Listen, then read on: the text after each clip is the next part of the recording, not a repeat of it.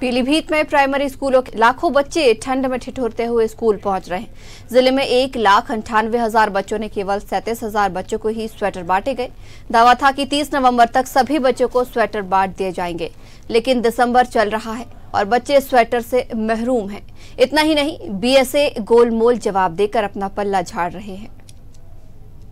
अभी मिले नहीं घर से इनर पहन के आ रहे हैं, अंदर से लगता तो है। जब ऑफ़िस से नहीं मिला, जब हमें नहीं मिला अभी। अभी तक हमारे यहाँ सैंतीस हज़ार एक सौ पचासी स्वेटर प्राप्त हो गए हैं। आज जो है पच्चीस हज़ार और प्राप्त हो जाएँगे। हमारे एक खंड शिक्षा अधिकारी, एक टीचर लुधियाना में कल भी भेजे गए हैं। कल वहाँ पर हैं, वहाँ फर्म से टाई अप करके शीघ्र से शीघ्र आपूर्ति कर देंगे।